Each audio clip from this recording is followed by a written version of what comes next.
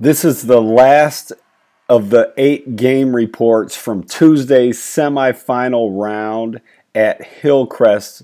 Um, Dallas, Dallas HSAA versus MHEA of Memphis.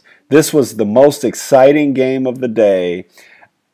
Went down to the final possession first I'd say one of the things that struck me was how good the guard play was in this game. Dallas was victorious, but I'll start with MHEA.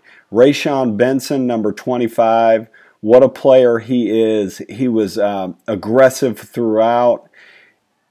I saw him play at tip off he is as good of a guard as as you're going to find here in Springfield. And he was great. He gets real low to the ground. He's real powerful off the dribble. He was great last night. And his backcourt mate Foster Hawk another guy I've seen before. I hope I pronounced his name right. Um, he seemingly made every shot he took. Um, I, am sure he missed some but but he was um, very efficient, made shots, um, both catch and shoot threes, made some little floaters going to the basket. He's a very good player, very, very much a competitor. He plays very well when the games are very important, and that's a great thing. Now, Dallas, on the other hand, was dynamite as well. Playing with foul trouble, Nick Thomas was very good. He um, this first time I've seen him play, and he was he was very good. Um, and then also, I hope I, I don't have uh, information in front of me, but if if the other guard is named Conway Chris, um, you know, it seems like maybe it would be Chris Conway, but I think the the uh, the the media guide says Conway Chris for some reason, but anyway, uh, the the other guard, and I'll learn his name throughout the week because they won, and so I'll see him some more.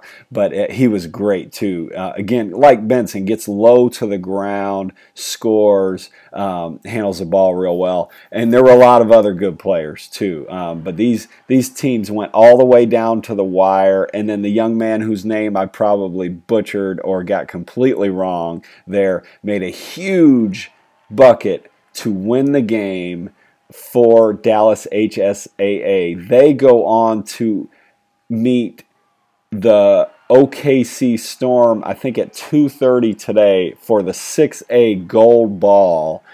They certainly have their work cut out for them against the Storm, but um, but it's a good group, a competitive group, and I can't wait to see that game today. I'll see you in the gym.